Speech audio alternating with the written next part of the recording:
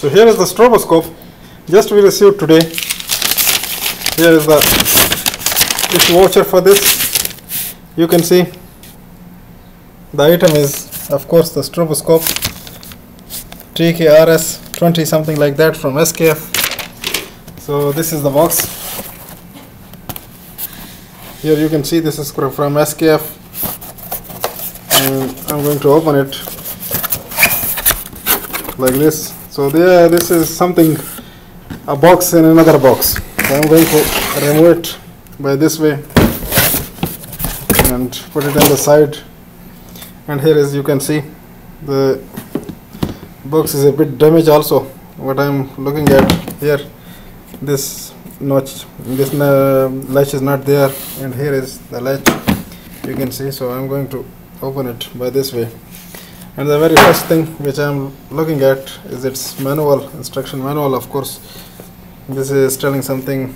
TKR20 this is the model for SKF stroboscope. Here is the image you can see and this one is of course the TECO if you are going to make it external trigger. So this is the manual which is explaining things. Not bad in English of course and uh, then uh, what I have to do is I have to put it over here on the side and put the packing in. And then here is the actual unit. You can see. This is what is the strobe. And uh, still uh, packing is there. I have to remove it. Underneath what I'm looking is you can see these are the LEDs white LEDs bright. Nowadays they are putting LEDs before there was a strobe lamp. So this is the unit main unit. This is not by SKF actually made by someone else. They put their stamping. And uh, here what I'm going to see is its battery. Battery unit is there so I have to switch it on. Battery is of course a little bit charged. So while I'm switching it on we can feel a flicker over here you can see. Like this. So this flicker we can focus on a running machine and then we can get the idea of the speed. Not idea but the exact figure. We can change the trigger from here. This is actually what it is doing is it's changing the triggering speed of the light. So by this strobe light uh, we can stop we can looking at a machine and stop. So while where it is stopping that rpm we will read from this display.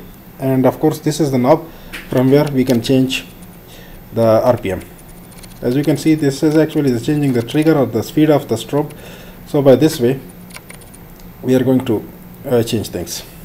So this is and then what I have to do is there are two other buttons which is divided by 2 this is division so very quickly we can change the speed. By this way as I was in or at 1200 and it is coming now to 601 and if we will multiply it will multiply by 2 like this.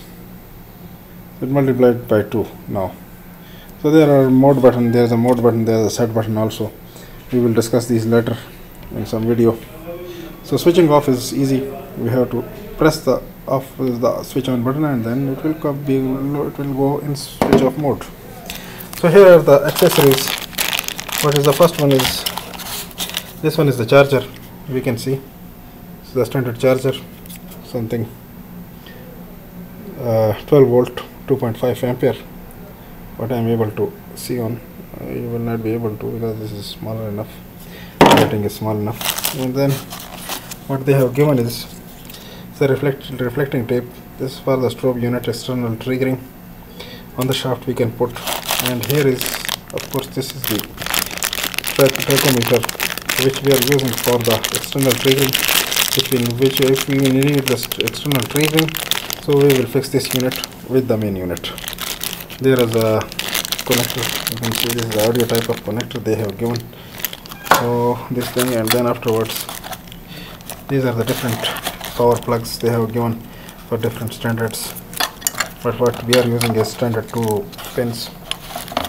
And uh, this one. The note note they have given for the first use. And these things we have to put back in its covering in its place everything like this